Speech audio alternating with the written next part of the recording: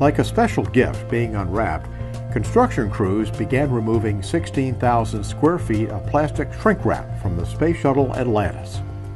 Work continues for the famed spacecraft's new $100 million home at the Kennedy Space Center Visitor Complex. Atlantis has been enclosed in the plastic since November of last year to protect the priceless artifact from dust and debris during construction of the facility where it will be displayed.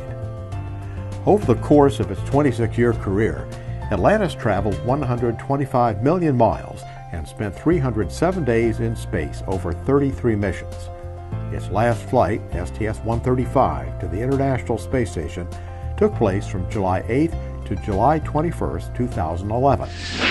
Five. All three engines up and burning. Two, one, zero, and liftoff. The final liftoff of Atlantis on the shoulders of the space shuttle. America will continue the dream.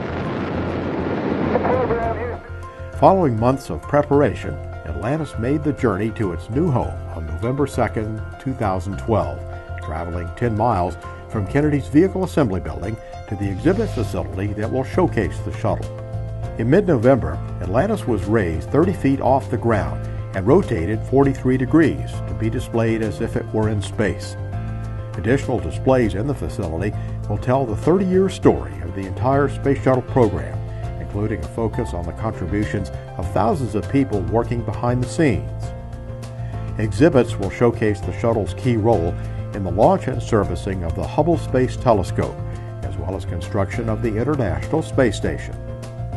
Construction continues on schedule for the 90,000 square foot educational attraction, which is scheduled to open to the public on June 29th this year.